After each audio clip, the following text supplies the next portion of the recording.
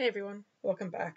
So today we're talking all about induction. So what induction is and ways that we can use induction to prove that statements are correct. So this is a pretty solid topic. It's I, I would say it's one of the more challenging ones. And because of that, I'm going to try to take this video a little bit slower than I usually do, but definitely please feel free to slow down to pause the video, ask as many questions as you need on our discussion boards or anything like that. Just, excuse me, do what you need to do in order to understand what's going on here. Because induction is such a cool and useful tool for us. It's really something extremely powerful. So it'll be extremely helpful for you, helpful for you as the time goes on. Um, so uh, likely what I'm going to do is I'm going to break all of induction into at least two videos, if not maybe three, uh, just because I want to try to pace everything out pretty well. So, all right, with all that, let's start talking axioms. I've mentioned things like axioms a lot in class already. Uh, but basically, again, axioms are sort of the fundamental rules that we consider to be just true. So this is actually we get to talk about the uh, the first examples of axioms that we've seen at all for this entire class. So let's take a look at some of them. First, we can talk about the axiom of infinity. The axiom of infinity, remember that an axiom is a type of theorem. So the axiom of infinity states that there exists an infinite set which can be interpreted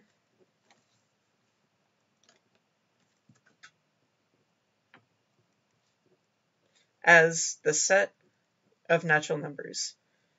So what we're saying here is that the the natural numbers are sort of the quintessential set.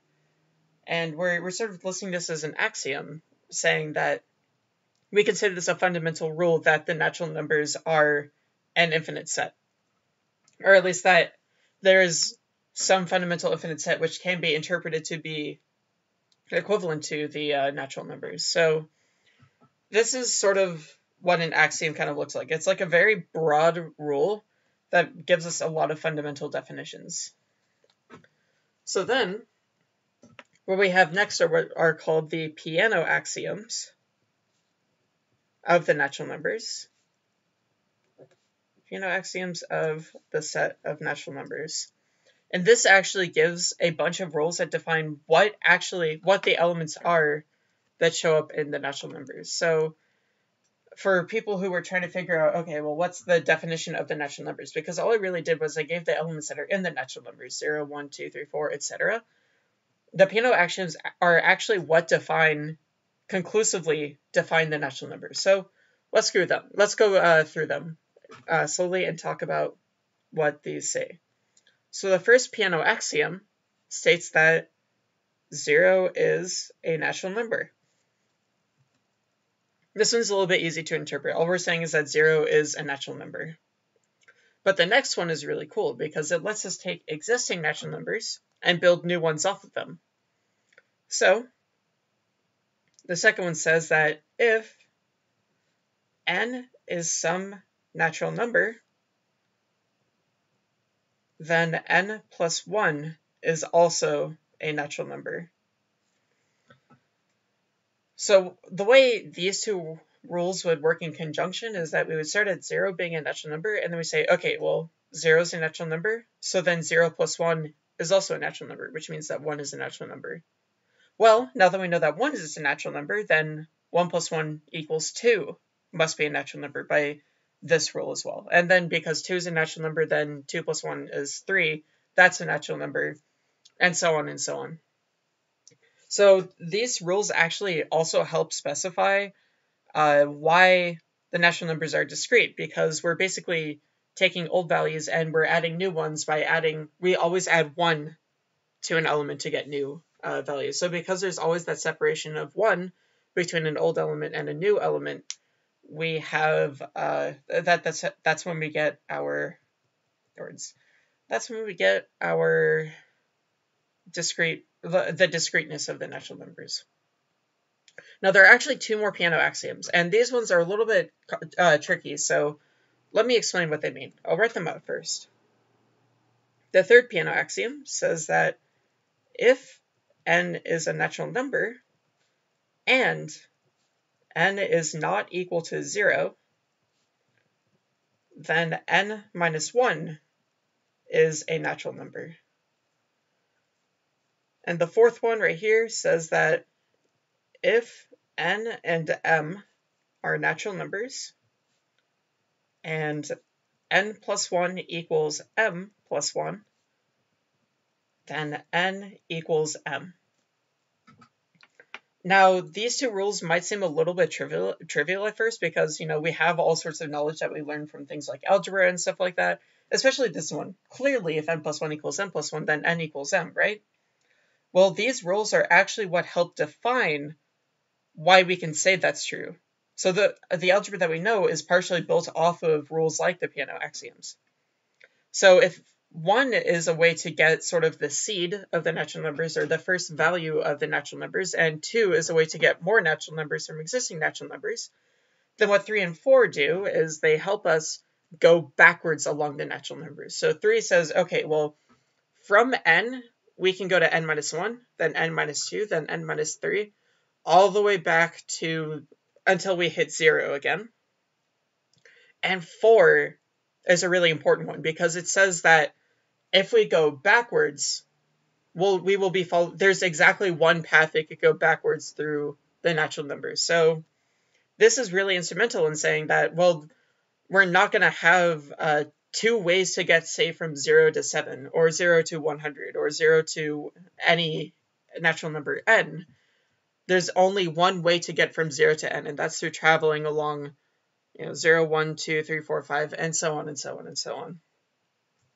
So again, these these rules may seem a little bit self-evident, but just remember that these rules are very fundamental, and it's because of rules like these why you know all the algebra knowledge and stuff like that. So the reason why these rules seem obvious is because we've really been working with these rules a lot. So I what I would recommend is just sit and think about these rules for a little bit. Um, this at this point, it would be a good time in the video to pause it and ask any questions that you have on Piazza to see if uh, there's any way I can help you out, uh, help answer any questions, because the Peano axioms are going to be pretty helpful for us to understand what's going on with the rest of this topic. But in short, the Peano axioms really just define the natural numbers. All right. So now that we have that out of the way, what I'm going to define is the principle of mathematical induction. Of mathematical induction, which in and of itself is a theory. Uh, it's a theory that has to do with the uh, natural numbers as well. So we'll uh, we'll take a look at this. Great. So this is what's known as the principle of mathematical induction. It's a theorem that basically, if you have some subset of the natural numbers that satisfies a couple of properties, then we can say that that subset actually equals the natural numbers. So let's take a look at it. Um, we're going to say that S is a subset of the natural numbers. If S satisfies these two properties here, that 0 is an element of S, and that if some number n is an S, then n plus 1 is an S, the principle of mathematical induction states that S actually is entirely equal to the natural numbers. The reason why is because if we know that S is a subset of the natural numbers that contains 0 and follows this rule, well then we know that 1 must be in here because 0 was in here. And then if 1 is in here, then 2 is in here. If 2 is in here, then 3 is in here. If 3 is 4 is in there, and so on and so on. So these two rules by themselves, they actually give us uh, that S has all of uh, ends uh, has all of the elements that the natural numbers does. All right, so this all leads us into our next style of proof, which is which is called a proof by induction. Basically, what we have is we have some predicate p that takes in natural numbers and gives us a truth value, right? And then we have a set s, which is every x in the natural numbers such that p of x is equivalent to true. So every x that you can put into this predicate that gives out a, a, a true proposition.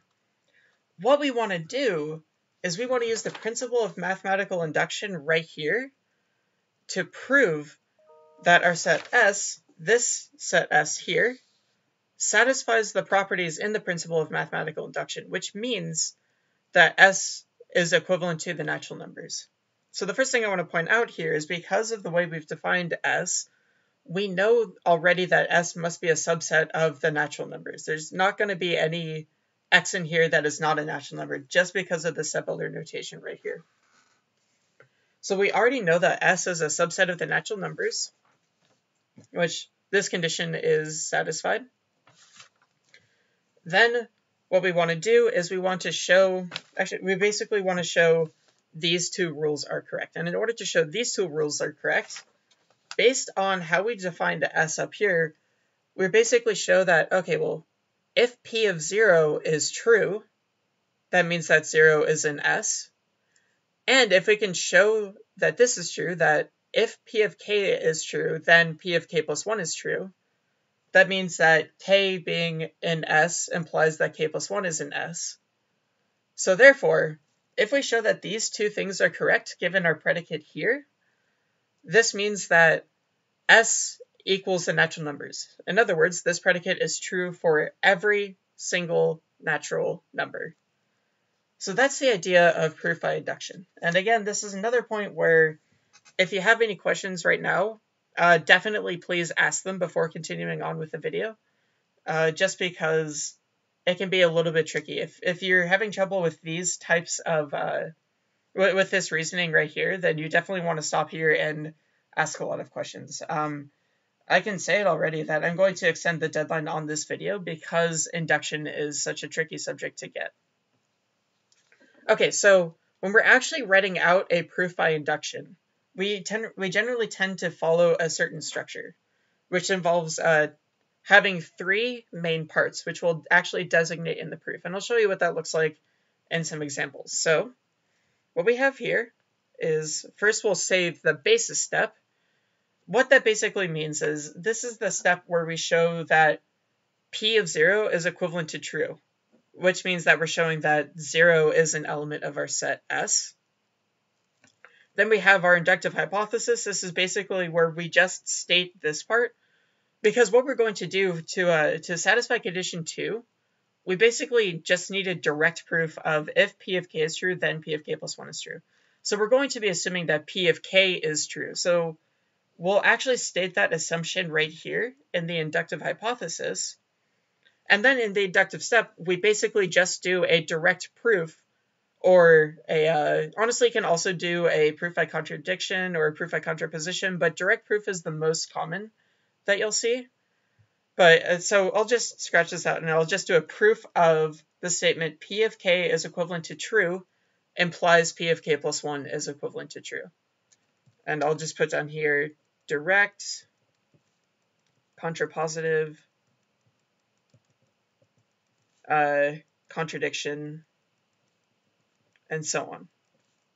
You're allowed to use any of these to show this, whichever one works, as long as you show that if you assume p of k is true, then you can assume that p of k plus 1 is true. So that's what we're going to do. Uh, I'll bring up an example. Uh, I'll bring up an example and we can actually see this structure and also the principles of proof by induction put into practice. Okay, so here's our first theorem. Basically, what this is asserting is that for all n in the natural numbers, 1 plus 2 plus 4 plus all the way up through 2 to the n minus 1 plus 2 to the n, we're saying that this equals 2 to the n plus 1 minus 1. Basically, what we're trying to show is that for all n uh, in the natural numbers, this whole equivalency is true. So let's rewrite this really quick to work with it a little bit easier. Basically, we're saying that for all n in the natural numbers, 2 to the 0 plus 2 to the first plus 2 squared plus all the way up plus 2 to the n minus 1 plus 2 to the n equals 2 to the n plus 1 minus 1. So this whole thing right here is going to become our p of n. p of n equals this statement here. What we're trying to show is that p of n is true for all n. Uh, so we want to show that this whole thing is true. I'm going to write down want to show to really uh, nail down that we don't know for sure that it is true yet, but that this is what we're trying to prove basically. So we have our P of n. We need to, it might be helpful to talk about what our S is as well. So basically, our set S is going to be equal to the set of all natural numbers. So n in the natural numbers such that 2 to the 0 plus 2 to the first plus 2 squared plus all the way up through 2 to the n minus 1 plus 2 to the n equals 2 to the n plus 1 minus 1. Oh, I'm sorry.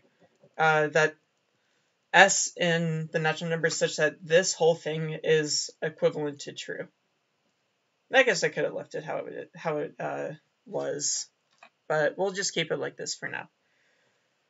So if we want to do a proof by induction, what we have to do is show that, well, this statement is true for n equals 0, and then show the proof that if this is true for some natural number k, then it is true for some natural number k plus 1. And what that'll then mean is that, okay, well, we know it's true for 0, so then it must be true for 1. And if it's true for 1, then it must be true for 2. And if it's true for 2, it must be true for 3, and so on and so on. We could just do that as many times as we want and reach, you know, some pretty inconceivable natural numbers. And yeah, theoretically, that would just, actually, not theoretically, uh, actually, it is proven that this will uh, show that it's true for all natural numbers.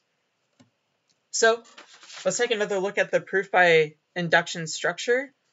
Uh, the basis step is basically showing that p of 0 is true. So let's do that.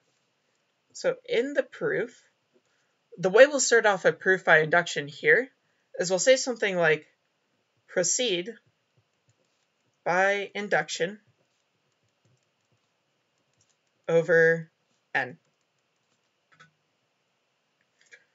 And it's like, all right, now we need to show that basically S here satisfies all the uh, print everything that we need for the principle of mathematical induction. So We'll start off with the basis step.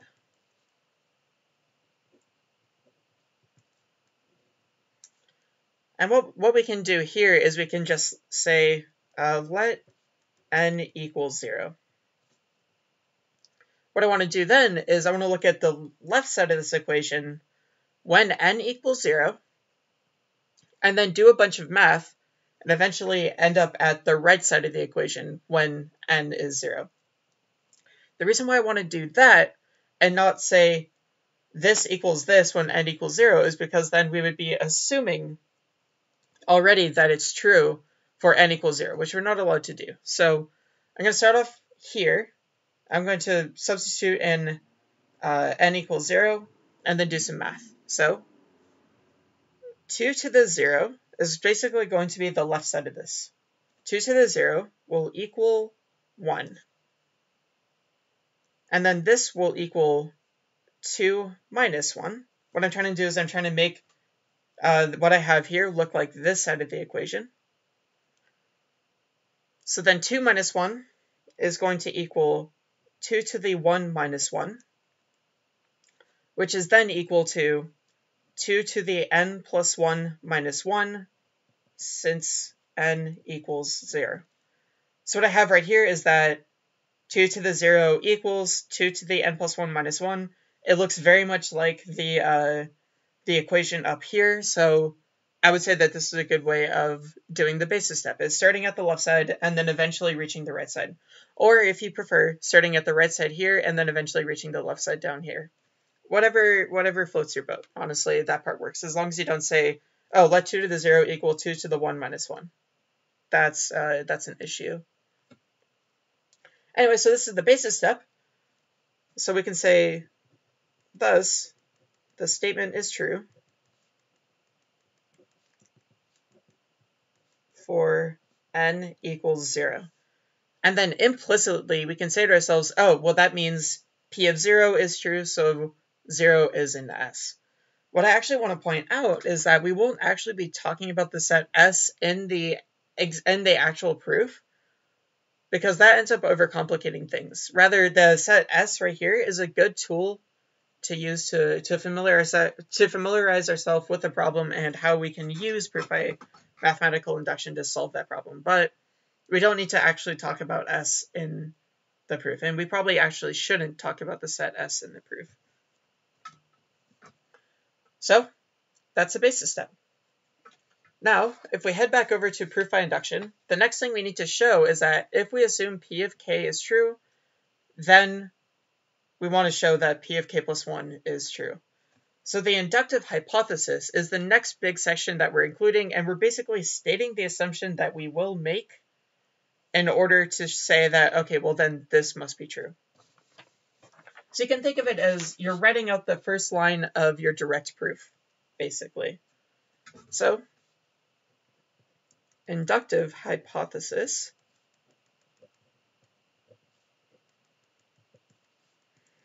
the reason why it's called an inductive hypothesis is because it's the hypothesis that we use in order to do the in order to prove that the inductive step is correct. So our hypothesis being our the assumptions that we're going to make. So the inductive hypothesis in this case, we're going to say uh, we basically want to say that this equation is true, but I'm going to say, sorry, that this equation is true, but I want to use some n equals k. The reason why I want to do that is I want to use n as a more sort of loose, like, oh, well, this is a placeholder for a natural number. Whereas I want to say that k is a constant natural number that we know that the uh, hypothesis, that we know that this equation is true for. So we'll say, let k be a natural number, suppose 2 to the 0 plus 2 to the first plus 2 squared plus all the way up through 2 to the k minus 1 plus 2 to the k plus 2, uh, sorry, equals, equals 2 to the k plus 1 minus 1. So this is how we're going to start off our inductive. Uh, basically, this is the assumption that we're going to use in order to prove our inductive step. So then finally, in our inductive step, we're just writing a proof that if we assume P of k is true, then we can show that P of k plus 1 is true. So the way we can do that, we don't need to rewrite this part anymore. We can already just, we, we can basically consider that, oh, well, we started the proof at this point right here. And then the inductive step is just finishing off the rest of the proof. So the inductive step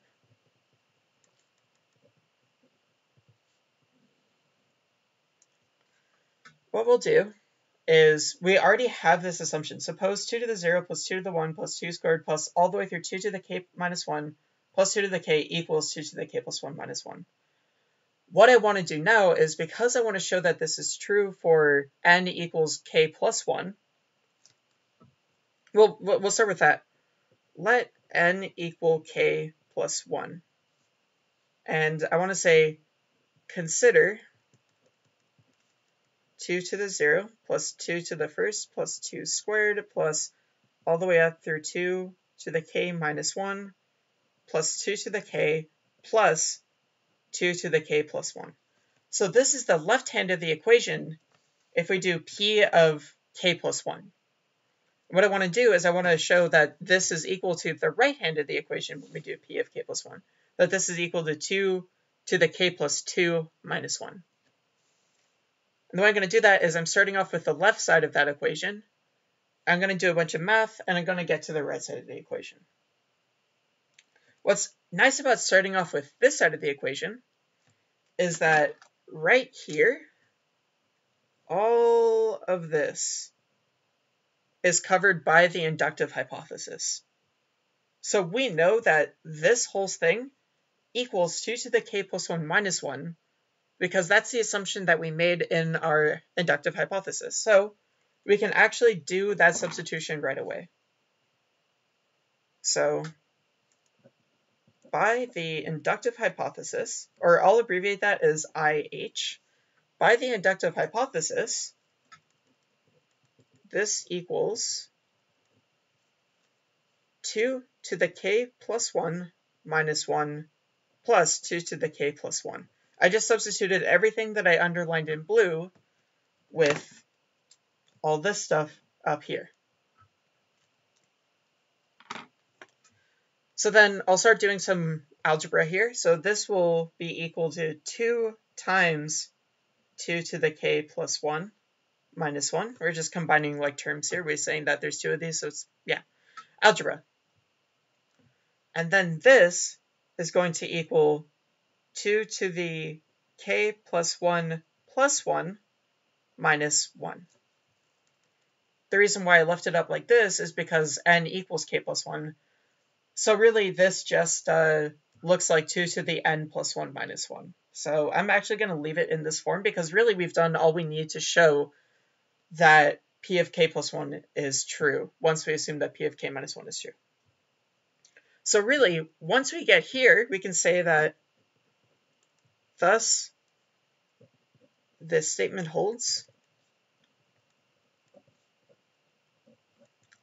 when n equals k plus 1.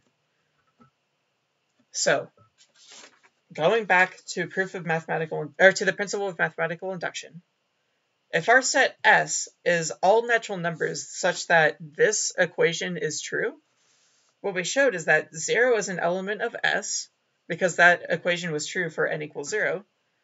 And we also showed that if, in this case, if k is an S, then k plus 1 is an S, which that was our whole proof right here. Our assumption of p of k being true helped us show that by making this uh, substitution here, it helped us show that p of k plus 1 is true. So because of all that, by the principle of mathematical induction, our set S, our set S up here is completely equal to the natural numbers.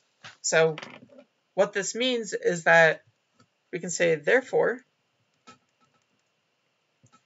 by the principle of mathematical induction,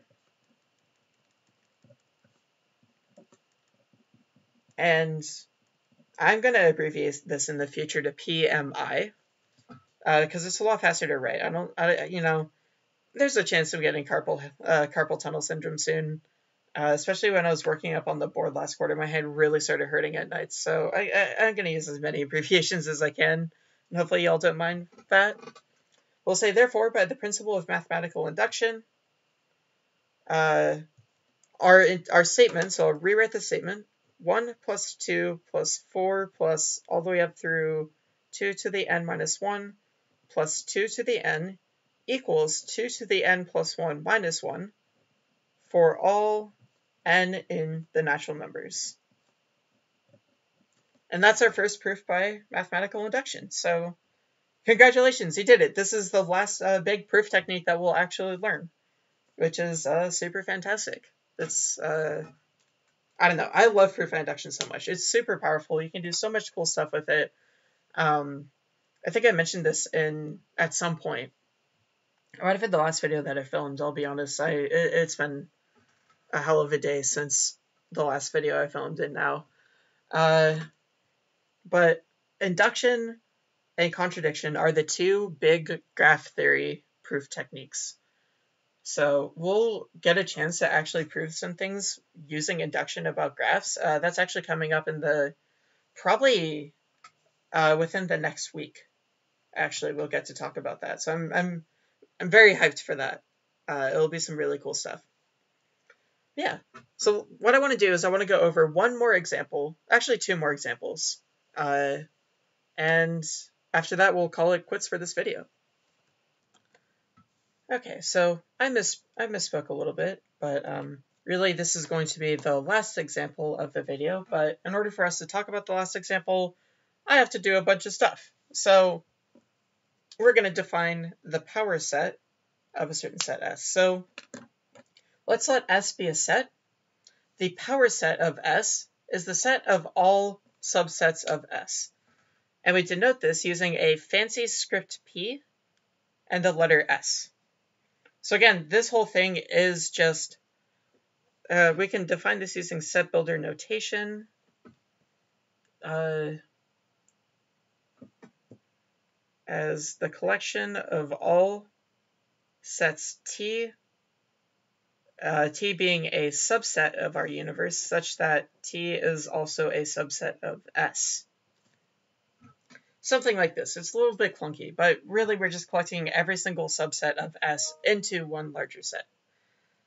So, I have a theorem that is not a proof by induction. It's actually a proof by contradiction, but a very brief theorem that will let us uh, basically talk about some of the elements that are in a power set. So this theorem says if we let S just be any set, then the empty set is a subset of S. And we talked a little bit about the logic behind that before, but we haven't been able to show a proof of that until now. And I want to point out there that whenever you see like some sort of empty set is a subset of a set or a set equals an empty set, I'm going to say right away that proof by contradiction is going to be um, the way you want to go. So if you see an empty set, use proof by contradiction. And I'm thinking I might make another video at some point describing how to handle specifically proof by, con- uh, proof by contradictions for sets with empty sets. Uh, that or uh, sets being equal to empty sets. That's that, or at the very least, I'll be able to talk about it in class. So anyway, what we'll do is, uh, if we're trying to prove that the empty set is a subset of some set S, we can suppose otherwise, seeking a contradiction. So if the empty set is not a subset of S, which is what we're supposing for our proof by contradiction, then that must mean that there's some element in the empty set that is also not in S. However, this is impossible because the empty set is empty, so it can't have any element. So that, that's where a contradiction comes in. It contradicts the definition of the empty set. So therefore, the empty set is a subset of S. And I'll put in the QED because I totally forgot to do that. So now, here's an example. Uh, we have the power set of the set 1, 2, and 3. That's just the collection of all possible subsets of the set 1, 2, and 3. So that's the empty set, the set containing just 1, set containing just 2, set containing just 3, 1, 2, 1, 3, 2, 3, and one, two, three, because a, a set is a subset of itself as well.